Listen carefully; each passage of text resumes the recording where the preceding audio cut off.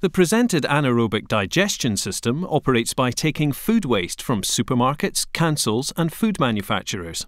This is an example of a large scale operation. Most food waste arrives in bags or with packaging intact. These elements and other contaminants need to be removed, so the waste is shredded and mixed with water and industrial food waste.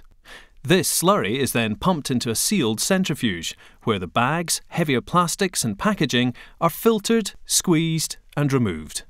The organic liquid is then pumped to a buffering tank, which helps maintain the correct consistency or batch ratio, and is then passed on to three pasteurization tanks. The liquid is heated to 70 degrees for an hour and passed into the main digester tank. The liquid is agitated by jets from below. The bacteria within the tank now react over time, giving off around 70% methane gas, but also CO2 and other gases. These gases are collected and stored in a pressurized biogas balloon, which is then piped to combined heat and power engines which provide heat and electricity.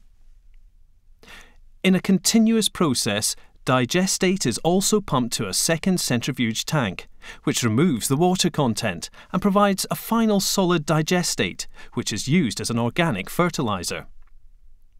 20% of the energy produced by the plant is used on site. The rest is sold on to the national grid or to local business.